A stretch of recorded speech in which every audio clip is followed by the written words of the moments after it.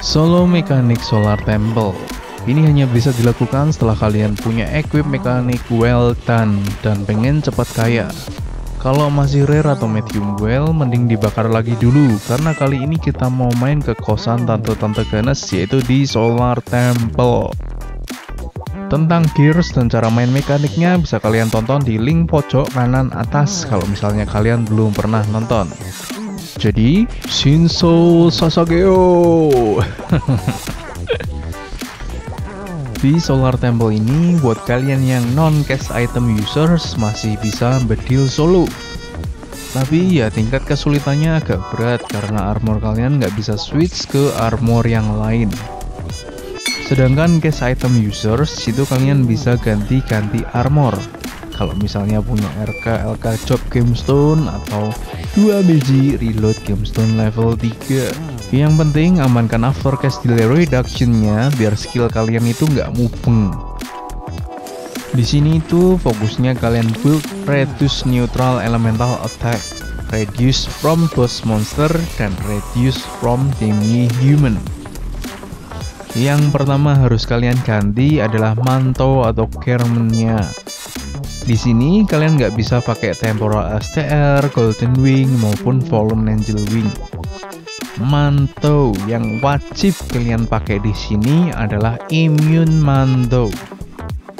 Nggak harus plus 12, 11, 10, plus 9 aja itu udah cukup, cukup, cukup, cukup.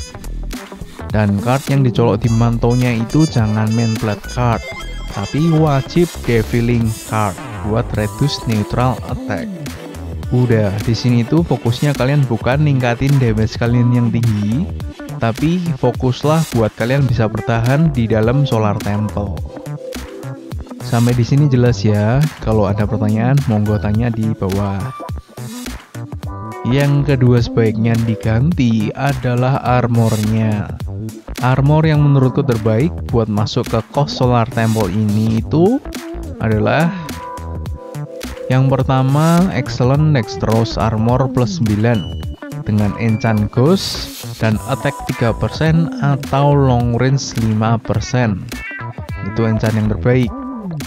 Sedangkan kalau misalnya kalian nggak punya, armor yang terbaik kedua itu adalah plus 7 Cursed Magic Mail. Meskipun sudah sangat kuno, tapi armor ini tuh masih sangat bagus buat reduce neutral attack tambahan. Juga nambahin HP SP kalian dan anti pecah. Mantep kan di sini ya armornya? Di sini bebas sesuai selera kalian aja armornya mau pakai yang mana yang kiri atau yang kanan. Itu kemudian card yang dicolok di armor juga sebaiknya diganti nggak pakai rain life card chaotic Pepomet atau real set amdarais tapi di sini kita pakainya Taugunka card buat survivability. Info lebih lanjut kalau misalnya kalian masuk Solar Temple pakai armor yang bisa pecah ataupun broken, jangan lupa bawa full chemical protection scroll. Meskipun sebenarnya mekanik itu bisa repair, tapi kalau masuk di Solar Temple itu kalian bakal hektik atau ngeras gitu loh. Dikit-dikit nanti ada monster waktu mau refine, ting ting, eh refine. Waktu mau repair, nanti di depan ngerti-ngerti ada monster cilup gua gitu kan modar langsung nanti. Terus info kedua kalau misalnya armormu itu timber neutral jangan lupa pakai shape shifter skill atau bawa aja holy elemental scroll. Biar sedikit meredus damage yang dikaplok ke kamu. Ceplak gitu ya sampai di sini jelas kalau ada pertanyaan lagi tulis lagi di bawah yeah. Item ketiga yang perlu kalian modif adalah kartu di dalam shieldnya. Bisa pakai Kalis Vulcanite Set atau Alice Card atau bahkan Tara Frog Card. Karena semua monster yang ada di dalam Solar Temple itu adalah demi-human boss protocol.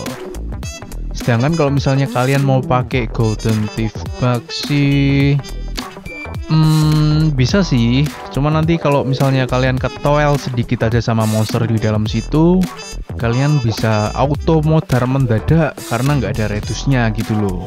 Gitu ya. Sedangkan buat shieldnya itu tetap Bloody Knight Shield. Cuma kalau misalnya kalian pengen motif itu yang diganti adalah enchantnya aja. Bisa pakai increase atau reduce from demi human monster.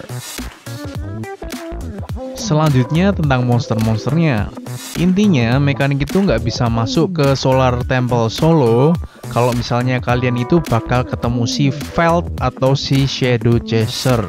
Begitu kalian kena Masquerade, Ignorance itu loh, kalian nggak bisa skill ngapa-ngapain dan pasti auto modar kalau misalnya ketemu atau ke glitch atau ke body teleportation sama monster yang lain.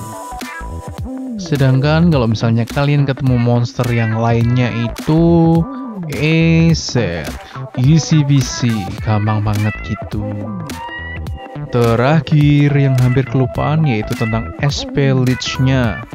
Di sini kalian bisa pakai Dracula card, Job Gamestone, atau nggak usah pakai apa-apa juga bisa biar reduce atau damage kalian lebih banyak. Cuma kartu di power chipsnya itu satunya diganti Arch Archer card biar kalian bisa dapetin box of panting. Berhubung semua monster di sini kan demi human gitu sambil menyelam makan siomay.